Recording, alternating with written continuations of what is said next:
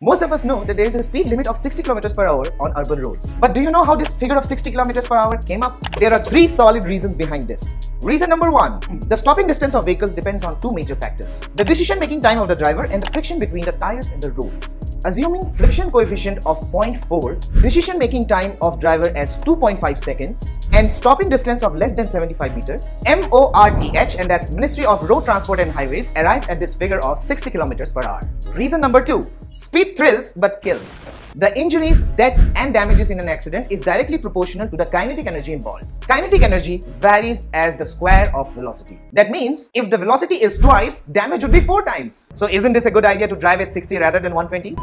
80 अरे सर आप तो स्पीड लिमिट क्रॉस कर रहे हैं Reason number three, the air resistance against the vehicle is directly proportional to square of the velocity. So at higher speeds, the air resistance will be very high, thereby decreasing the mileage of the vehicle. So 60 km per hour is considered to be an optimum speed for best mileage of your vehicles.